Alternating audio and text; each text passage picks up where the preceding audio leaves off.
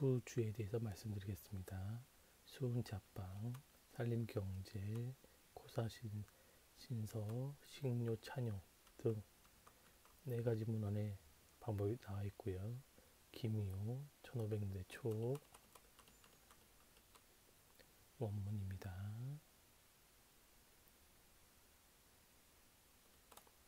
번역문입니다. 뱀이 한 말을 해서 술이 발효되면 사용한다 되어 있고요.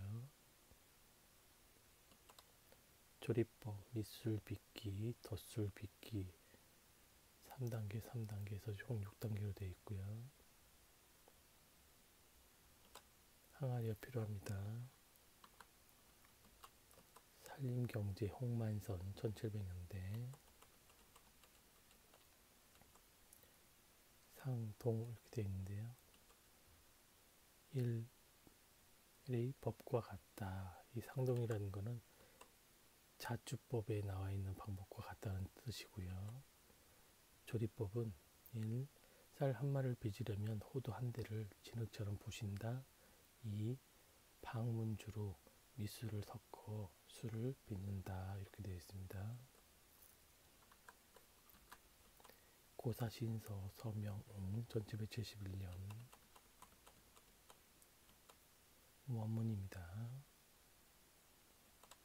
번역문이고요. 빚는 방법은 백자주와 같으나 단지 호도로 대신할 뿐이다. 이렇게 되어 있습니다. 조리법 백미 열말 찹쌀 한 마를 여러 번 씻어 밥을 찐, 찐다.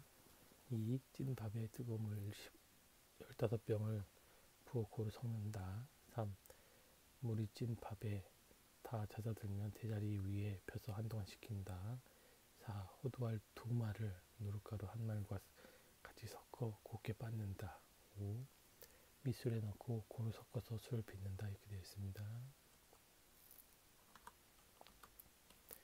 식류찬용 전순이 1460년 원문입니다. 번역문입니다. 타박상을 치료하려면 호도육을 찌어 술에 섞고 따뜻하게 복용한다. 곧 차도가 있다. 이렇게 되어 있습니다. 조리법은 호두를 찌어 술에 섞는다. 이렇게 되어 있는데요. 번역문의 타박상 어떤 임상적인 부분을 치료하는데 호두주가